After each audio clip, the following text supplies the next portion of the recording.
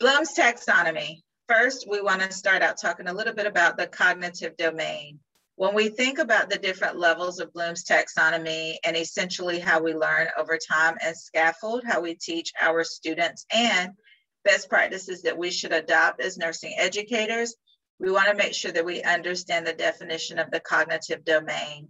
Now, we also know that there are components related to the affective domain that are important when we think about the domains of learning, but for purposes of our time together, for this snapshot, we're only going to focus on the cognitive domain. I want to point out resources, like I always do, that will help support you on your learning journey to prepare for the certification exam. First, this will be a concept that you will see throughout several competencies when you take a look at the detailed test blueprint for both the CNE as well as the CNE-CL. Facilitate learning, which is covered under competency one and two for CNE, and then competency one for the CN, and one and two as well for the CNE-CL. Billings and Halstead, which is a primary resource for both of the certification exams, you are going to start on page 188, where it describes the different domains of learning, again, cognitive domain, as well as affective domain and psychomotor domain, okay? So there are three different domains of learning. However, the cognitive domain is the one that includes Bloom's taxonomy of learning. It is a staged or leveled process, and it's really important that you understand three primary concepts as it relates to Bloom's taxonomy. First will be the definition. What are the different definitions for each level of Bloom's taxonomy? Well, we're going to highlight that in a couple of slides, so I'll save more details for later. Second, the verbs associated with each level of Bloom's taxonomy. You will see in figure 10.1 in Billings and Halstead, they scaffold or build starting from remembering, which is the foundation, which is where our students start, all the way up to understanding, applying, analyzing, evaluating, and creating. Again, I have a, a great image to share with you that will hopefully help you connect the dots in your learning journey and assignment. We want to ensure that our students' learning is correlated with each level of Bloom's taxonomy, but also we're using the appropriate verbs and the learning outcomes and the assignments are mapped or correlate to each level. So this is an image that I wanted to share from Vanderbilt University Center for Teaching that pr provides a really good depiction of each level as well as associated verbs. Now I wanna go ahead and point out that there's no way for you to memorize every single verb on every single level of Bloom's taxonomy. Okay, I'll go ahead and put that out there right now. However, there are some key verbs that you need to remember, memorize, and most importantly, to have a full understanding of exactly what level of Bloom's taxonomy addresses the different levels of learning. Okay, so let's go ahead and get started. We're starting at the bottom with remember. The definition is to recall facts and basic concepts. There are some specific verbs which are defined, duplicate, list, memorize, repeat, and state that are listed here. Additional ones on page 189 in Billings and Halstead Teaching and Nursing, the sixth edition, include define, list, label, select, locate, and match. Okay, so again, most important that you understand the definition of remember, which is to recall those facts and basic concepts. Common assignments would be blood pressures and, and vital signs, understanding the student specifically remembering what the normal parameters are for vital signs. That is just the basic Bloom's taxonomy level of remembering. Okay, so it's the, the memorization of key components such as vital signs that students would need to remember. All right, and then when we think about the specific level, um, or the specific learning outcome associated with remembering.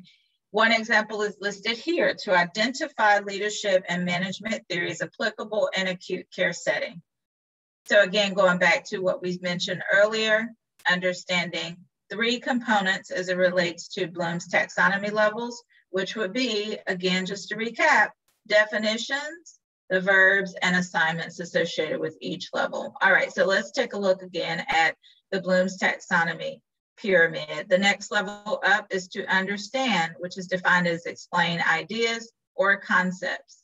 Verbs associated with the level understanding include classify, describe, discuss, explain, identify, locate, recognize, report, select, and translate. A few additional ones that are listed in um, Billings and Halstead, page 189.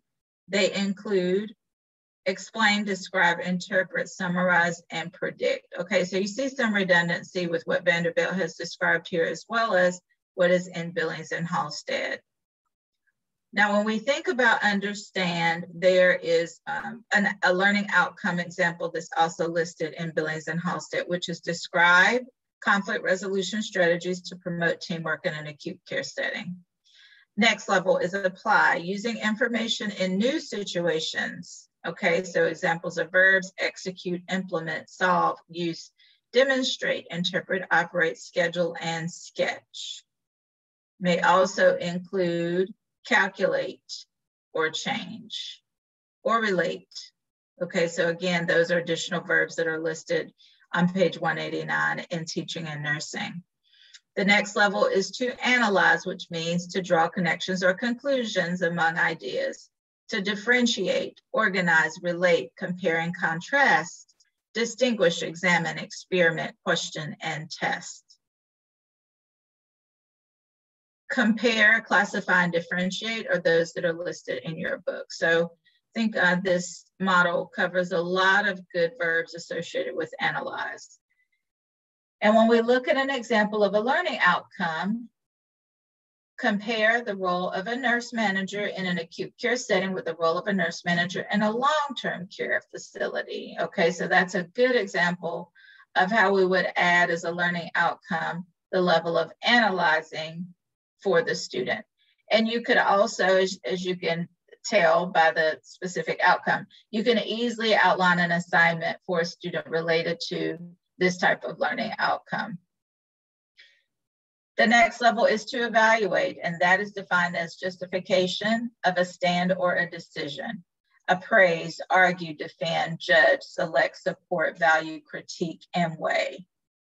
Also may see reframe, support or assess. Okay, so assess is at the letter level of evaluating. Create is the highest level of the cognitive domain under Bloom's taxonomy, defined as producing new or original work. Concept mapping is one good example. Verbs, design, assemble, construct, conjecture, develop, formulate, author, investigate. You may also see compose, um, or create, formulate, and develop. And those are already listed here. So hopefully this was helpful. I know that Bloom's taxonomy is in there. All right, so back to content. Want to make sure that you all have the most recent resources to help you on your journey. Remember that there are new publications for teaching and nursing with the sixth edition that just came out in 2020. Dr. Caputi has released her second edition of the Certified Nurse Educator Review Book and the CNE 2021 Candidate Handbook, as well as the CNECL 2021 Candidate Handbook has been released. So you wanna make sure you have the most current resources. All right, and then for the CNECL, I also wanna highlight some recommended resources. First is the Wittmann-Price, Wilson, and Gittings Certified Academic Clinical Nurse Educator Review Manual. And second resource I want to make sure you have is the Academic Clinical Nurse Educator Review Book by Teresa Shellenbarger. The Clinical Nurse Educator Competency Review Book by Teresa Shellenbarger is also one that I highly recommend.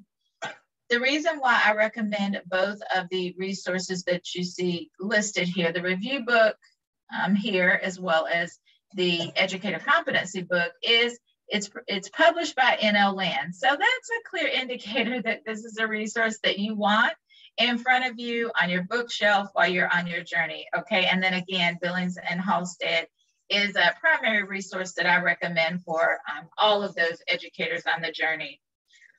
I'm excited to announce that Dr. Sellars Educate is in the process of final approval for contact hours. We have heard you and we appreciate your feedback regarding the recommendation to provide contact hours. We will be awarding four contact hours, hoping to launch that officially in July. But if you head over to Nursing Education um, web portal on Eventbrite, you will see that we have posted the August date, um, but we may, like I said, be able to, to provide an even sooner event in July. So check out our portal to, to stay updated for those offerings. All right, well, that concludes our time together. Again, I am Dr. Sellars Educate. I appreciate you being here. Feel free to reach out and we'll see you in the classroom. Have a good one.